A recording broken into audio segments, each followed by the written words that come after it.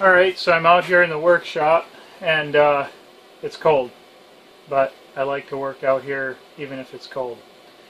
And what I want to show you today is a thing called a match plate pattern. That's this right here. Now that's for a bracket um, that I'm making for the CNC machine. And the reason this is called a match plate is that there's a, a part on the other side that matches, that's going to be part of this part. Um, and I'll show a picture of it when it's all done and it'll make a lot more sense.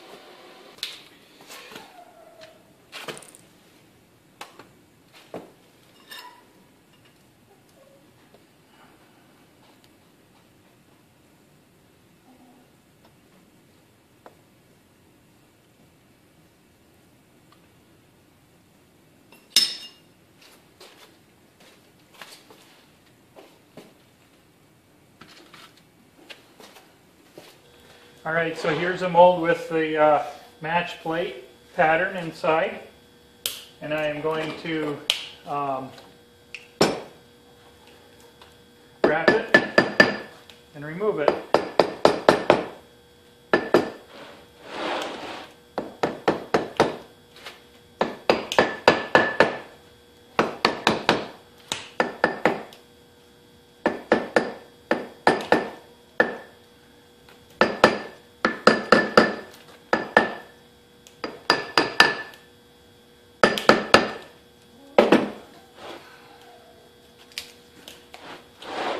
I I'll flip it over. Take off the drag first.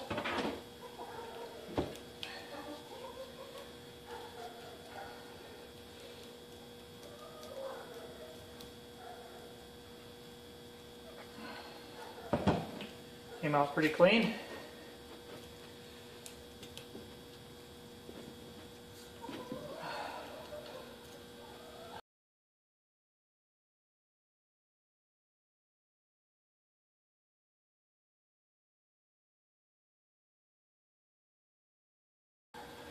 Perfect.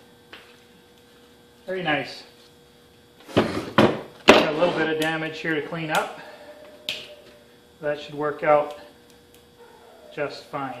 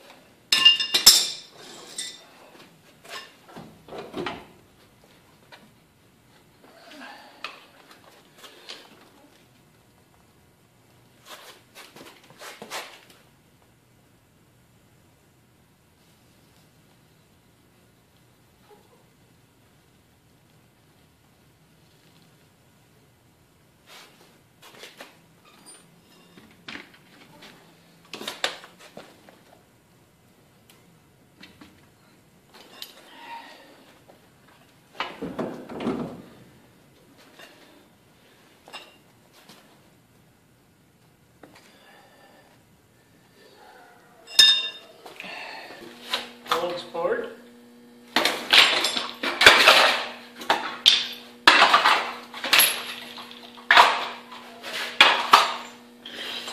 See what we got.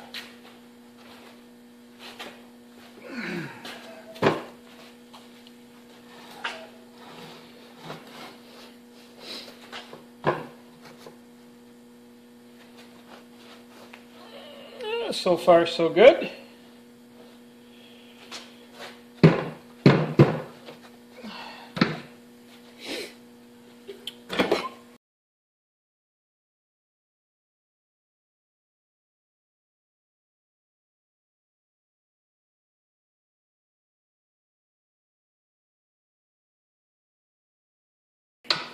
This was the last one I poured, so it's got a little more heat.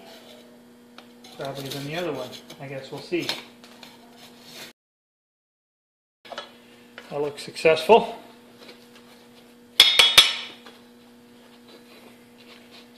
Let's see what we got on the other one.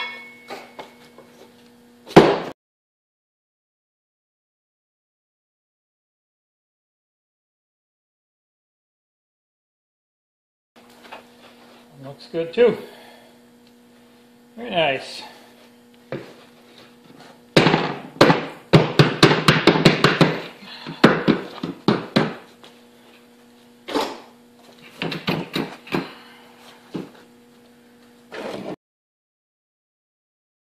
We poured that one an hour ago. Still a lot of steam coming off of it. Yeah. The alignment seems pretty good between the two halves. A little bit of flash there to file off.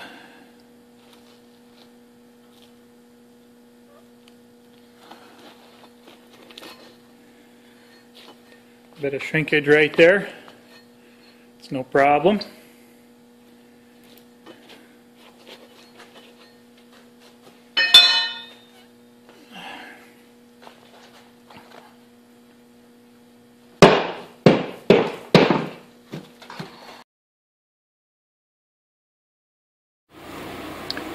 I put covers on the muller to keep the moisture in and the cat's out.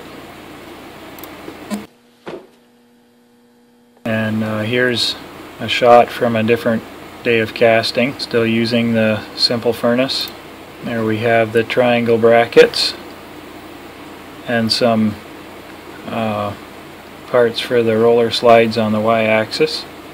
Those are the, the pulley supports for the operator end and there's roller slides on the, the x-axis before we had the, the gantry complete. There we've got the gantry mostly complete with the z-axis roller slides and there we've got everything pretty much together except for the cables and chains and notice there the two pulleys uh, on the threaded rod sticking up.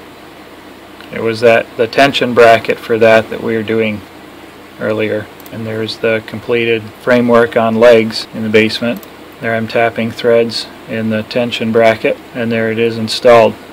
It's giving support to the top end of that threaded rod to help uh, hold the tension of those chains and cables and one on the other side. And there's what we have so far. I have the uh, the gantry off, or I should say the the x-axis roller slide right now uh, because I'm uh, doing the screw drive, the lead screw for the Z-axis. I have that out in my workshop right now. Thanks for watching. Stay tuned.